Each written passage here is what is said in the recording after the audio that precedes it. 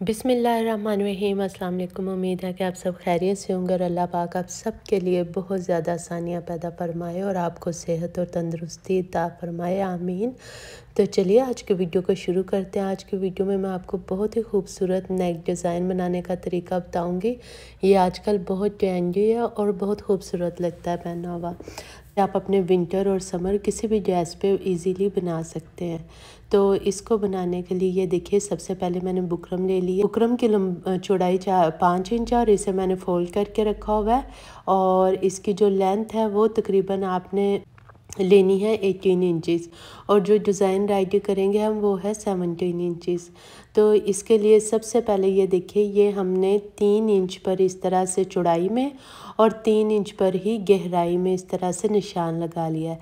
अच्छा अब मैं इसको बना रही हूँ स्टाइल में कि गले के ये बिल्कुल साथ इसकी लुक आएगी।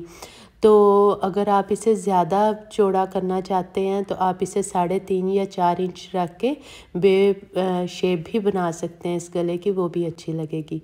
तो इस तरह से आप इस गले को बना सकते हैं। इसके लिए ये देखिए, सबसे पहले मैं यहाँ पे आगे जो निशान लगा रही हूँ, वो वन पॉइंट टू इंचज़ पर लगा रही हूँ। इसके बाद नेक्स्ट जो निशान मैं लगा रही हूँ, वो हमने दो इंच पर लगाना है, ये देखिए, टू इंचज़ पर। बाद हमने ऊपर से मैयर कर लेना है। बिल्कुल बुकरम के ऊपर से रख के हमने मैयर करना है और सेवनटीन इंचज़ पर यहाँ से रखते हुए सेवनटीन इंचज़ पर हम अपना लास्ट निशान लगाएँगे। हमारा जो है वो रेडी होगा। उसके बाद हाफ़ इंच मज़ीद में निशान लगाया जहाँ से हम बुकरम को कट कर देंगे।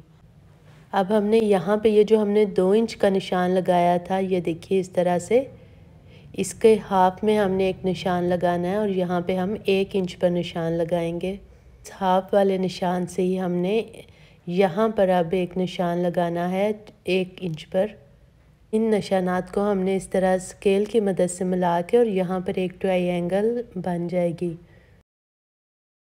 देखिए, इस तरह से यहाँ पे ट्रायंगल जुड़ा हो गई है। इसके बाद ये जो ऊपर वाला हमारा रह गया, यहाँ पे हमने एक पॉइंट का तकरीबन मार्जिन छोड़ते हुए इस तरह एक लाइन जुड़ा कर लेनी है। उसके बाद हमने नीचे तक भी इसी तरह वन पॉइंट का मार्जिन छोड़ते हुए एक लाइन जरा कर देनी है। हमारे गले का पैटर्न रेडी हो गया। अब हम यहाँ पर क्वार्टर इंच पर निशान इस तरह से लगाते जाएँगे, जहाँ से हमने बुकरम को कट करना है। और उसके बाद इन निशानों को मिला के और हम लाइन ड्रा कर लेंगे।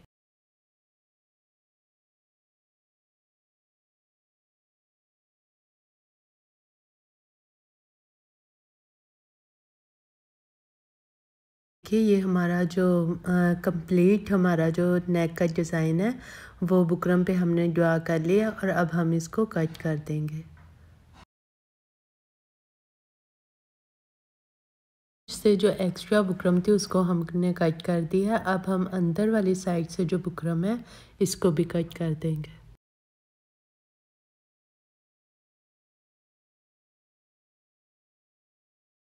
तो ये देखिए, इस तरह से हमारा जो बुकरम है, ये कट हो गई है।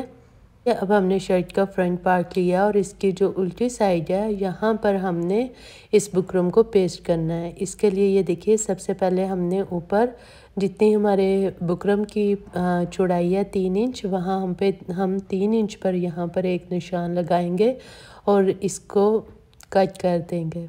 हमने ध्यान से सेंटर में रखना है इस तरह से और इसे हमने इसके कपड़े के ऊपर पेस्ट कर देना है।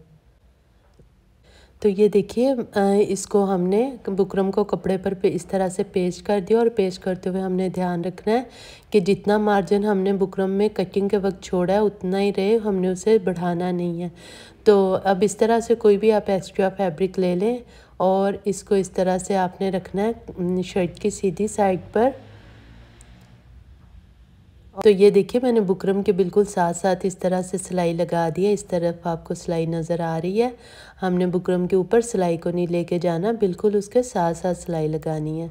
तो इस तरह से अब हमने एक्स्ट्रा फैब्रिक को कट कर देना। उसके बाद ये सेंटर से इस तरह से हमने कट करना है। नीचे तक पहले हम सीधी बिल्कुल कटिंग इस तरह से कर लेंगे। यहाँ से हमारा कपड़ा नहीं निकलेगा। ये जो हमारी ट्राइंगल है, यहाँ से हमने अपने कपड़े को रिमूव करना है एक्स्ट्रा कपड़े को। और उसके बाद ये कपड़ा कट करने के बाद हम जहाँ ज़रूरत है, जहाँ ज़्यादा कपड़ा है, वहाँ हम छोटे छोटे कट लगा लेंगे।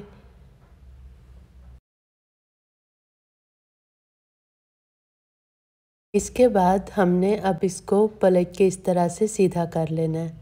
और ये बड़ा इजीली पलट के इस तरह से सफ़ाई के साथ सीधा हो जाएगा।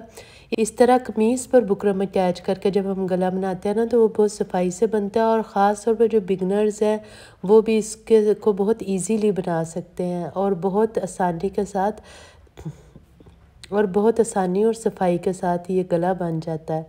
तो अब यहाँ पर जहाँ ज़रूरत है वहाँ पे हमने आ, इसकी नोक जो है वो अच्छी तरह कैंची वगैरह की मदद से इसकी क्लियर करनी है। और ये देखिए सीधा हो होकर ये कितना खूबसूरत लग रहा है और बहुत इजीली ये अपनी शेप में आ जाएगा। ये आपने इसको इस तरह पलटते जाना है और साथ साथ आयरन करते जाना है। यहाँ से भी ये देखिए इजीली ये बिल्कुल बहुत अच्छी सी इसकी शेप आएगी और कोई झोल वगैरह नहीं आएगा। इस तरह हम इसे पहले सारा पलट लेंगे और इसे अच्छे से आयरन करेंगे। आयरन करने के बाद ये जो बुकरम नज़र आ रही है, इसे हाफ़ इंच बढ़ा के कपड़े को इस तरह से हमने कट करना है और फिर इस कपड़े को इस तरह हम फोल्ड कर देंगे और आयरन करके और फिर हम इसे तरपाई कर लेंगे। ये सारे कपड़े को पलट के पहले मैंने इसे आयरन किया और उसके बाद बैक साइड से भी मैंने इसे नीट करके और इसे मैंने तरपाई कर लिया। ये देखिए एक्स्ट्रा फैब्रिक को मैंने कट कर दिया और बाकी फैब्रिक को मैंने फोल्ड करके और इसे आयरन कर दिया है। इसके बाद ये देखिए, ये मैंने डोरी बनाई है और उसकी ये हमने पीसीस ले लिए हैं, तकरीबन 2.5 इंचेस के। इसकी अब हम लूप्स बनाएँगे। ये ये मैंने दो इंच चौड़ा कपड़ा लिया था और इसको इस तरह से मैंने फोल्ड करके और सिलाई लगाई है बिल्कुल किनारे पे और इसे फिर सीधा कर लिया और तकरीबन ये वन इंच जो है, ये तैयार है हमारे पास। इसको आपने पहले फोल्ड करके और फिर सिलाई लगानी है। तो इस तरह से मैंने ये पट्टी साथ साथ रेडी कर ली है। हर एक डोरी बनाने का जो तरीका है, वो कंप्लीट मेरी अलहदा से वीडियो मेरे चैनल पर मौजूद है। आप जाके देख सकते हैं और बड़, बहुत इजीली तरीके से आप भी डोरी बना सकते हैं। क्योंकि अक्सर लोगों को डोरी बनाने में, सीधा करने में बहुत प्रॉब्लम होती है। तो उसके लिए आप हमेशा कोशिश करें कि आप अरेब कपड़ा लें, अरेब कपड़ा लेंगे तो उससे बहुत अच्छी डोरी रेडी होती है। अगर बहुत ज़्यादा अरेब कपड़ा आपके पास नहीं है तो कम से कम आप कपड़े की चौड़ाई में से फैब्रिक लें। तो अब ये देखिए, ये जो हमारा ऊपर वाला पार्ट है, गुलाई का गल है, ये ख़त्म होने के बाद यहाँ पर इस पार्ट पे हमने दो लूप्स को इस तरह से अटैच करना है। इस तरह ये देखिए, मैंने इसको आगे से फोल्ड कर लिया था कपड़े को और इसको हमने यहाँ पे रखना है और इसके साथ ही हमने अपनी लूप्स को भी रखते जाना है। यहाँ से भी आपने इसी तरह किनारे पे सिलाई को रखना है, जो दोनों साइड्स हैं, इन्हें साथ इस तरह से रखते हुए और आपने लूप्स को हटा के और किनारे पे सिलाई लगाते जाना है।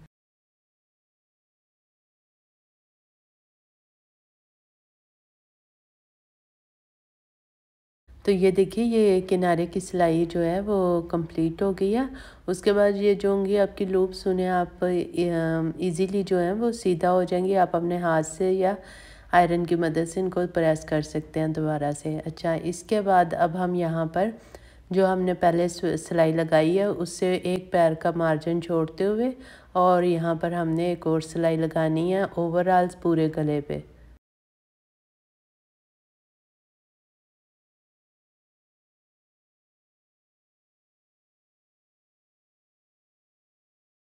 तो ये देखिए, ये हमारा जो गला है, ये बन के रेडी हो गया। यहाँ मैंने आयरन इसको कर लिया और ये जो हमारी डबल सिलाई है, वो भी बहुत खूब अब आप अपनी मर्ज़ी के कोई भी बटन जो है, वो यहाँ पर अटैच कर सकते हैं। ये देखिए, नीचे से भी इसकी बहुत ही सफ़ाई के साथ हमारा जो गला है ना, वो बन के रेडी हुआ है। अच्छा यहाँ पर अब हम इसका बटन लगाएँगे और बैक इसका जो कंधे हैं अटैच करके और बैक का भी गला बनाएँगे। अच्छा बैक का गला भी मैं इसका नॉर्मल रखूँगी।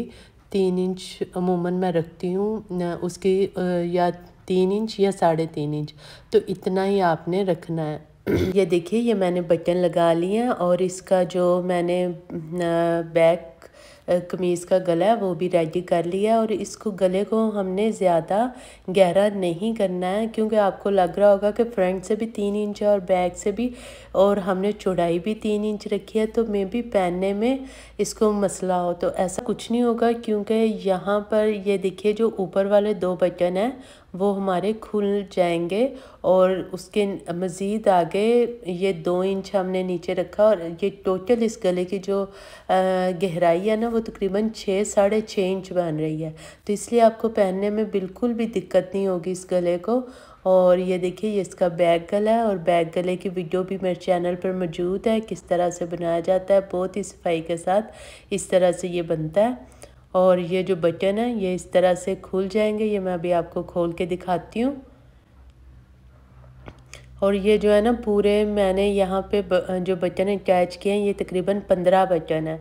तो इस तरह से आप भी अटैच कर सकते हैं और जितना हमारा ऊपर वाले दो बटन में मार्जिन है नेक्स्ट भी हमने लूप्स लगाते हुए उतना ही मार्जिन रखना है। तो आपको वीडियो पसंद आई है तो इसे जल्दी से लाइक कर दीजिए और मेरे चैनल को सब्सक्राइब कीजिए। और दुआओं में याद रखिएगा, मिलते हैं नेक्स्ट किसी वीडियो में। अल्लाह हाफिज़।